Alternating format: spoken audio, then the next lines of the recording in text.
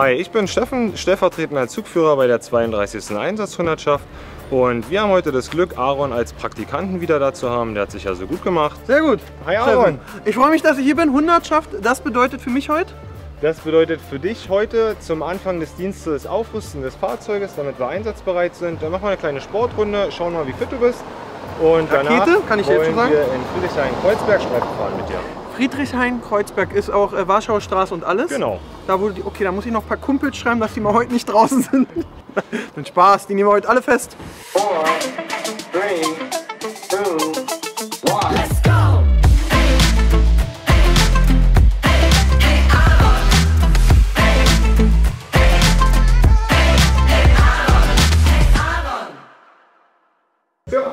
Aaron, wir sind jetzt hier in der Waffenkammer und hier haben wir unser Materialbuch. Da musst Ja. du dich mal eintragen. Ähm, wir werden heute für unsere Streife empfangen eine Ramme. Da, Ramme. 3, 2, 1.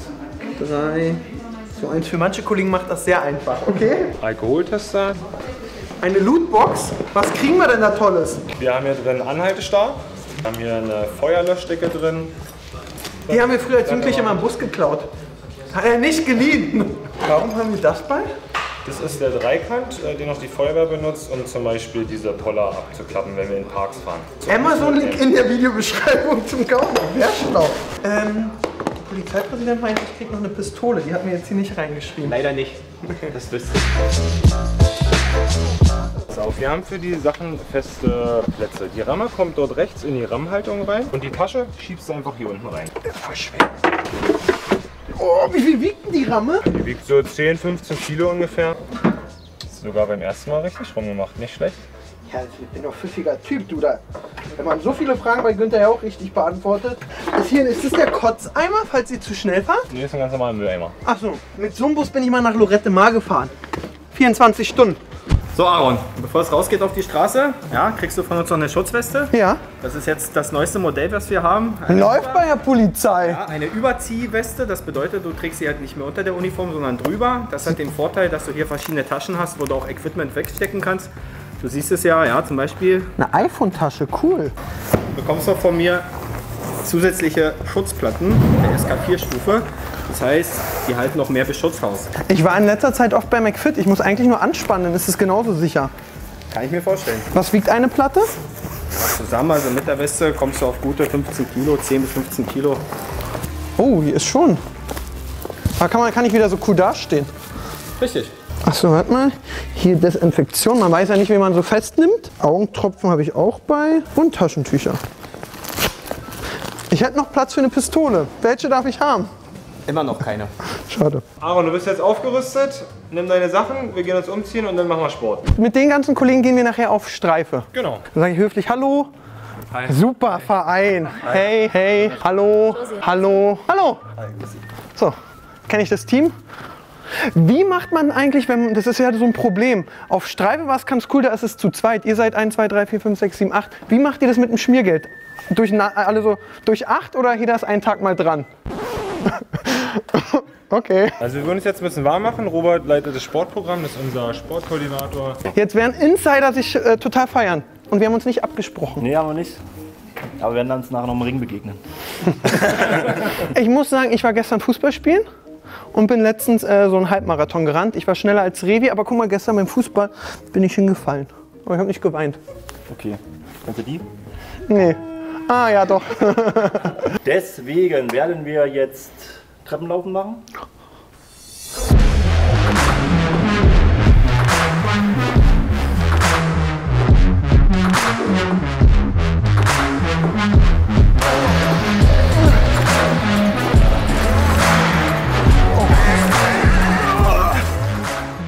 So, dann hier aufstellen. Das heißt Tonfahren. Tonfahren, nicht Schlagstock. Ja. Bei GTA steht immer Schlagstock. Egal. Okay, und los. Bitte.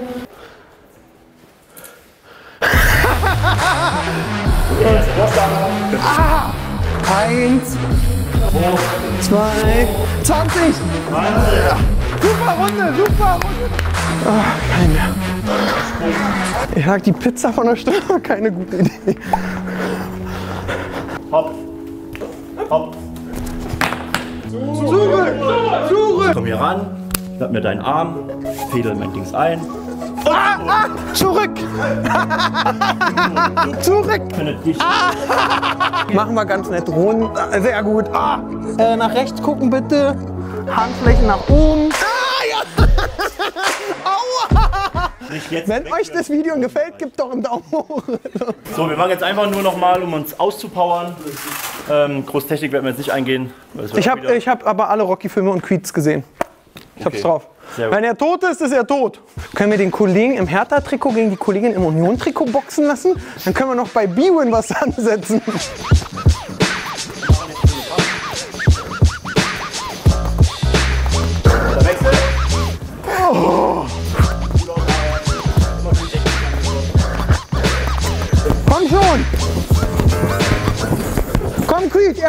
Vater getötet! Braucht er keinen zum Sack festhalten bei den, bei den kleinen Bienenstichen? Spät ist denn das? Da oben hängt eine Uhr. Ah. Wir haben noch bis 0 Uhr Dienst. Oh, Und nochmal alles. Alles, alles, komm. Letzte Übung. Aaron, du bist ja so ein großer Wrestling-Fan. Deswegen haben wir ein Utensil.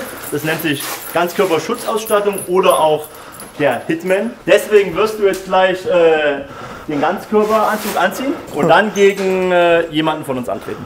oh okay. Helm auf. Ja? Das zeigt mir aber, dass mein Gegner gleich richtig zuschlagen wird. Wirklich gegen beide? Geil.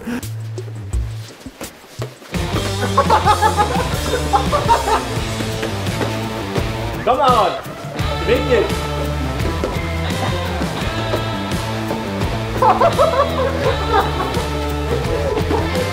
Aaron hoch, beweg dich, Deckung hoch.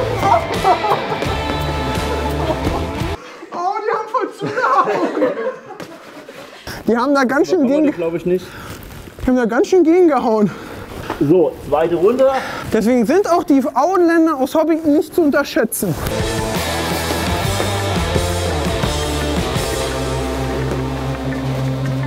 10, 9,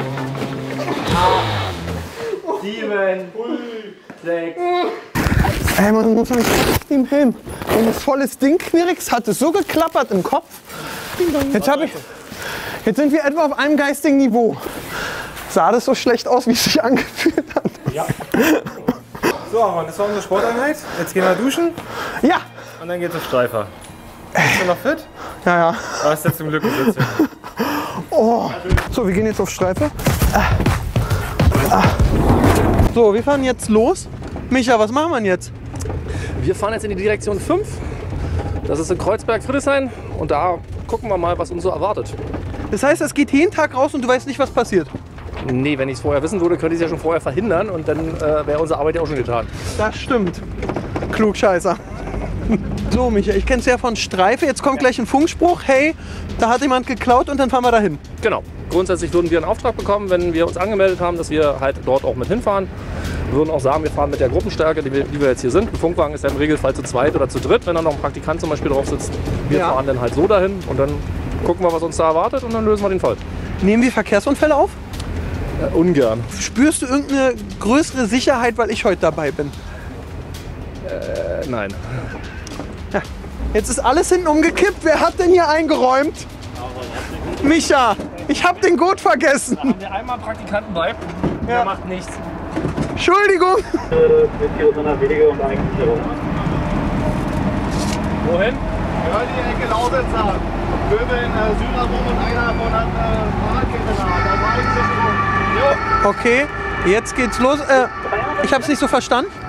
Ähm, wir fahren jetzt zu, äh, nennen wir es mal, randalierenden Personen in äh, Richtung äh, Görlitzer Straße. Und wir gucken mal, was uns da erwartet. Einer soll wohl dort mit einer Fahrradkette hantieren, was immer so ein bisschen gefährlich ist. Deshalb haben wir jetzt. Deshalb fahren wir jetzt mit Sonderwegerechten und haben auch quittiert, äh, dass wir die Eigensicherung auf ein besonderes Maß hoch, äh, hochhängen, weil eben jemand mit einem äh, gefährlichen Gegenstand da rumfuchtelt. Das heißt für mich, ich bleib ein bisschen weiter hinten. Das heißt für dich ähm, heißt es den ganzen Tag. Du guckst so ein bisschen, was die Jungs und Mädels machen, hältst dich so weit zurück, dass du dich selber nicht gefährdest, deinen Kameramann nicht gefährdest und uns nicht im Weg stehst. Okay, Regel Nummer eins: Aaron vor Timo.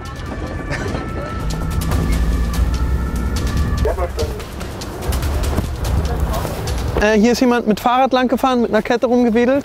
Genau, der Funkwagen, der ist von der anderen Seite in den Park gegangen. Die haben jetzt einen Geschädigten festgestellt und die nehmen jetzt die Anzeige auf zur gefährlichen Körperverletzung. Und ähm, wir befragen jetzt nochmal den Zeugen da vor Ort, der das gesehen hat, so dass quasi der Anzeige noch äh, einen Zeuge zugefügt Okay. werden kann. Und dann fahren wir weiter. Aber der Kollege mit der Kette ist auf und davon. Genau, der ist auf und davon. Wir haben eine Täterbeschreibung. Wir werden jetzt hier nochmal im Nahbereich schauen, ob wir den antreffen. Ähm, mit dem Fahrrad ist man halt leider sehr schnell weg. Das stimmt. Wenn wir Glück haben, kommt er heute nochmal wieder. Okay. Was mir schon bei der Blaulichtfahrt her wieder aufgefallen ist, ey, alle stellen sich wirklich echt dusselig an, wenn Blaulicht kommt. Sind aufgeregt und machen doofe Fehler oder denken sich so, ah ja, komm, fahrt doch links vorbei. Ey Leute, wenn Polizei kommt, Feuerwehr, Gasak, egal wer, Platz machen, die sollen durchfahren und dann klappt es. Und ruhig. Micha, wie lange bist du schon bei Hundertschaft? 14 Jahre. Was war das Verrückteste, was du... Erstmal das Skurrilste. Ähm, bis jetzt der Dienst heute. Nee, der, der Micha. Feuerwehrmeldung, Weichselstraße, Ecke Trabestraße, Verkehrsunfall mit Personenschaden, weiteres nicht bekannt. Äh, Betätigung eines Motorrades und Pkw kommen. Jetzt geht es ja um Verkehrsunfall. Ich habe ja vorhin gesagt, machen wir ungerne. Das Problem ist, bei, dem, bei der Art von Verkehrsunfall mit, einer, mit verletzten Personen versuchen wir natürlich so weit wie möglich den Bereich abzusperren, dass eben nicht noch irgendjemand nachträglich noch in diesen Unfall mit hineinfährt. Kopernikusstraße. Geradeaus, sag Bescheid. Was ich total geil finde, hier ist es so, jeder im Bus guckt mit, ob irgendein Autofahrer nicht aufpasst, ob was frei ist. Rechts ist frei, links ist frei. Oh, da träumt einer, der kriegt es gar nicht gebacken. Fahr rechts rum. Und man muss sagen, der Fahrer macht einen mega Job. Also der muss der King in GTA sein oder Gran Turismo. Wie der fährt, unglaublich, Hut ab.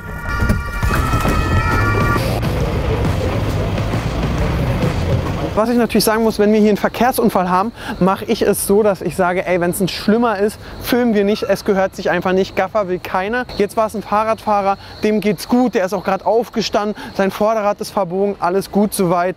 Also, Autofahrer und nicht Motorradfahrer, sondern Radfahrer waren in gleicher Richtung unterwegs. Der Radfahrer wollte den Schienen ausweichen, dass er nicht stürzt. Hat der Autofahrer nicht gesehen, hat ihn dann von hinten erfasst. Ähm, der ist mit dem Kopf auf den Boden aufgeschlagen, ist aber bei Bewusstsein, hat eine kleine Kopfplatzwunde. Hat er mit zwei Kolleginnen geboxt? Ähm, wir haben jetzt sein Fahrrad angeschlossen. Er ist im RTW, wird dort behandelt und wird dann wahrscheinlich nochmal zur genaueren Untersuchung ins Krankenhaus verbracht. Und das war's. Aber soweit geht es ihm erstmal gut. Er hat wieder gelächelt. Okay, das ist ja schon mal gut. Äh, während ihr jetzt hier alles beobachtet habt, habe ich da hinten jemanden gesehen mit Hund. Der Hund hat AA gemacht und der hat es nicht eingesammelt. Ich hasse sowas. Würdest du mir kurz deinen Schlagstock geben? Ich habe heute was gelernt.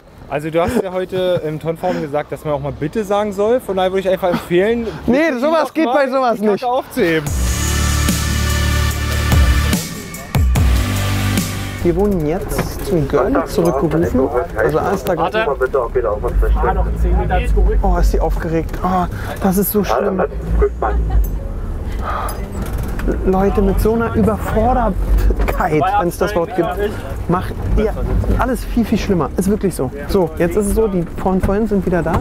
Deswegen stehen die jetzt schon alle bereit, rennen raus und wollen direkt rein sich die Leute holen. Komm, komm, komm, komm.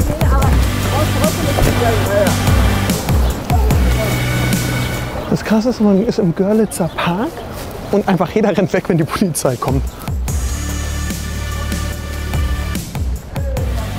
Das ist äh, echt verrückt. Im Bus wurde mehrfach die Personenbeschreibung durchgegeben und ich habe sie mir versucht zu merken.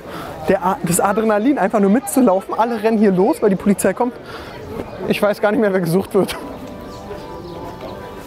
So, zweites Mal Görlitzer Park. Zweites Mal Görlitzer Park. Unser Kettenmann hat wieder zugeschlagen. Ähm, der Zeuge von vorhin hat ihn gesehen, wie er mit einer anderen Person in Streit geraten ist, die wir hier festnehmen konnten. Ähm, er möchte aber nichts anzeigen, wurde auch nicht geschädigt, ähm, war quasi erst im Anbahn, als er die Polizeiautos gesehen hat, ist er abgehauen, sodass wir ihn jetzt noch nicht haben. Aber ich bin mir sicher, dass wir heute noch ein drittes Mal vorbeikommen und dann ähm, ja, werden wir uns mal anschleichen. Gucken wir mal. So, was haben wir jetzt? Wir haben jetzt einen Kraftverkehrs-, äh, also einen Kfz-Führer, der mit einem Handy äh, rumgefummelt hat. Das ist ein Verstoß gegen die Straßenverkehrsordnung und dementsprechend halten wir den jetzt mal an. Was kostet das jetzt? 100 Euro, ein Punkt. Könnte ich mir fast aktuell in meiner Situation nicht mehr leisten.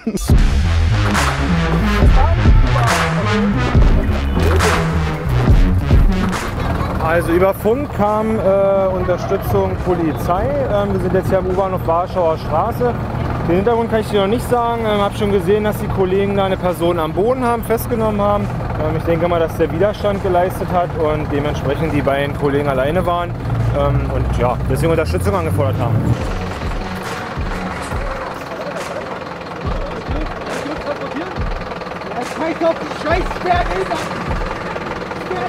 Anscheinend, wenn wir den transportieren, ähm, scheint unfreundlich zu sein. Ah, okay, das heißt, ich gehe inzwischen wieder Timo rüber. also der Kollege, der gerade Warschauer Straße Musik gemacht hat und nicht aufhören wollte, ja, da war alles ein bisschen schnell. Ihr erfahrt jetzt gleich, was los ist. Ich gehe mal rein, weil ich darf in der Wache drehen. Dafür vielen, vielen Dank. Also zum Hintergrund, auf der Warschauer Brücke wollte der Funkwagen den unzulässigen Lärm äh, bekämpfen. Da waren quasi drei Gitarrenspieler und das ist dort nicht erlaubt. Zwei Okay. der drei Gitarrenspieler sind der auch vor und nachgekommen, wegzugehen. Ähm, er war damit nicht einverstanden, hat dann die Polizisten angegriffen, hat Widerstand geleistet und ähm, deswegen wurde er festgenommen von den Kollegen und jetzt sind wir hier auf dem Abschnitt 51 und klären den Sachverhalt. Bei der Durchsuchung der Person haben wir noch Drogen bei ihm gefunden, sodass er dann den Verstoß auch noch bekommt. Ja, wäre einfach mal nur weggegangen, hätte gesagt, spiel ich woanders. Okay, krass. Wir haben es mit Bitte probiert. Der äh, hat ein kleines Pfeilchen erlitten, was anschwillt, sodass er mit ins Krankenhaus genommen werden soll. Ähm, einfach nochmal zur Sicherheit, dass es keine Einblutung gibt oder ähnliches. Ähm, er hat 1,7 Promille gepustet, ist dementsprechend äh, auch echt gut unterwegs. Ähm, genau, wie gesagt, wird jetzt ins Krankenhaus durch uns begleitet, weil er vorhin ein bisschen aggressiv war. Dort übernimmt dann das Krankenhauspersonal und dann können wir weiterfahren. Okay, alles klar. Und der wird morgen früh erst richtig Spaß haben.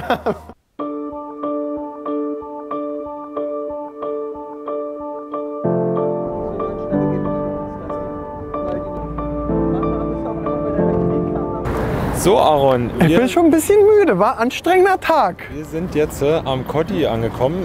Ist gerade mal halb zehn. Komm in mein Alter. Wir haben noch zweieinhalb Stunden Zeit. Ähm, wir werden jetzt hier auf dem U-Bahnhof mal eine Fußstreife laufen. Ähm, hab gehört, dass hier das eine oder andere Mal eine Straftat begangen wird. Und dann schauen wir mal nach dem Rechten. Freuen sich die Bürger immer. Und Da machen wir das mal. Präsenz zeigen. genau. Super. Ach, der Kotti-Geruch. Und was, steht man jetzt auch einfach nur da und macht, wenn jemand aussteigt, so. mhm. Ja, genau. Du hast ja äh, polizeiliche Erfahrung, guckst dir halt die Leute an. Manche sind halt schon einfach nervös, wenn sie Polizei sehen. Wollen zum Beispiel hier vor uns zur Treppe raus, sehen uns und nehmen halt einen totalen Umweg, den er als normaler Mensch nicht nehmen würde. Und ähm, dann kann das schon mal auffällig sein, muss aber nicht sein.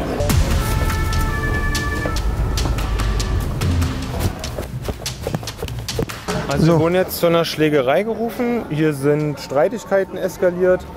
Ähm, genau. Jetzt prüfen wir mal den Sachverhalt. Sind ja genug Kollegen vor Ort. Ja, ich sehe ja den einen schon, wie er steht. Der hat wohl ein, zwei, drei mehr getrunken. Ja, ich tippe auch, dass Alkohol im Spiel ist. Also die Schlägerei hat sich nicht bestätigt. Ähm, nach Sachverhaltsklärung hat sich ergeben, dass es hier Streitigkeiten im Milieubereich waren. Aber Ähm, Streitigkeiten im Milieu- Milieubereich ist für mich Rocker prügeln sich. Das war es ja jetzt nicht. In dem Fall ist es das Trinkermilieu. Ach so, das heißt, die haben einen getrunken und sind von der Bank gefallen. Genau, haben sich ein bisschen gestritten und jetzt sind sie wieder dabei, sich zu versöhnen.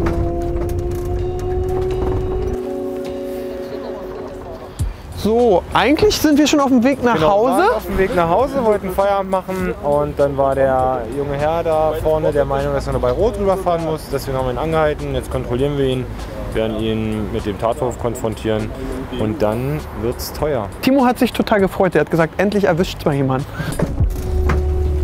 Und wie habe ich mich gemacht? Ja, ganz gut, Aaron. Äh, Schicht ist jetzt vorbei. Wir wollen jetzt Feierabend machen. Hast heute mal ein bisschen Sport mit uns machen Ein bisschen, ich bin echt durch. Grundkenntnisse vom Tonfa kennengelernt, hast ein bisschen geboxt. Da gibt es noch ein bisschen ähm, Nachholbedarf, ähm, wenn man sich von zwei Frauen verprügeln lässt. Ja. Aber die waren auch verdammt schnell. Das waren Ninja-Kolleginnen. Die sind gut trainiert, das stimmt. Ähm, Robert hat dir auch ein paar Sachen gezeigt. Ähm, super Sache. Danach ging es auf die Streife. War heute leider nicht so viel los. Ähm, Steckt man nicht drin. Genau, kann man nicht ändern. Ähm, der Fall mit dem Lärmer, der quasi noch ins Krankenhaus gebracht werden muss, hat auch relativ viel Zeit gekostet. Ähm, so dass ich sagen würde, kommst du einfach nochmal wieder? Soll ich, wenn ich nochmal bei der Hundertschaft mitfahren soll, gebt dem Video einen Daumen nach oben. Wenn nicht, schreibt es in die Kommentare und auch gerne, darf man sich einen Bezirk wünschen, wo wir mal so Streife fahren sollen? Ja, der Kollege nickt, also schreibt doch mal einen Bezirk in Berlin, wo ich das mal machen soll. In dem Sinne, bis zum nächsten Mal und vielen Dank. Alles Gute. Vielen Dank ans Team und vielen Dank dafür. Bis zum nächsten Mal. Hör auf! Ist okay. Beruhige dich jetzt. Ja, ist schon okay. Lass die Finger locker. Ey.